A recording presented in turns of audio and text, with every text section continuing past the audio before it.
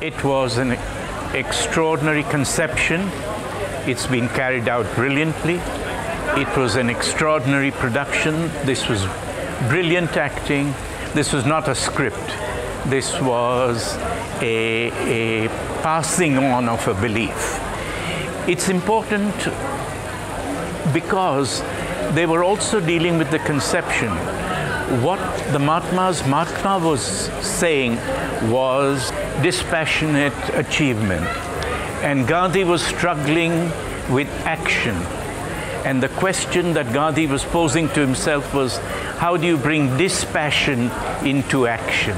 And that is why he was coming up with the concept not just of nonviolence. When you are struggling in action for a particular goal, whether it's political or, or in any other sense, that you are attacking the wrong and not the person. Therefore, are not carrying any hatred towards the enemy, towards the person. And this is extraordinary. This had never been done.